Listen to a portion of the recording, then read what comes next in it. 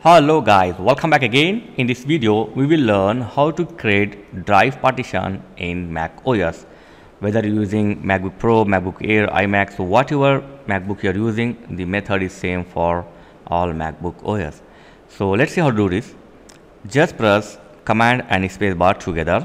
Your spotlight will open. So here, type disk utility. Open the disk utility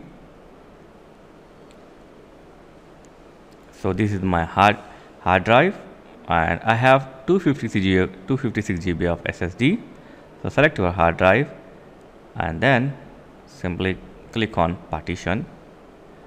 And now click on plus icon. Click on add partition. So you can see the partition is added. Now you can set the size of your partition. So I am going to take it like uh, 140 yeah 145 so you can set the uh, partition size as per your desire and need. And after this uh, give the file name here. So you can give any file name. Okay and the format keep it default okay? APFS so keep it default. And then simply click on apply. Now click on partition then click on continue. And that's it. Your partition will be added. So just wait here and then done. That's it. As you can see uh, the partition is created. So if you want to create one more partition so do the same. Select your hard drive and then click on partition and now select the where you want to create the partition. So I, for example i'm going to create the partition in the previous partition. So uh, i will select my previous partition. And then click on plus icon. Okay add partition. Set your size of partition like this. Okay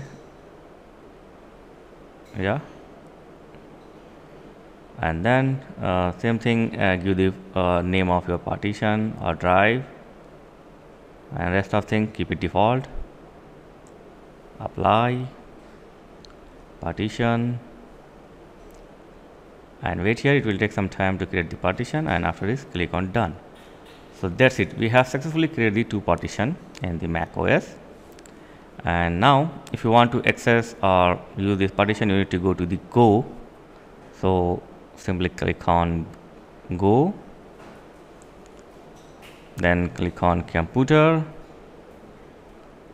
And here it will show your all partitions.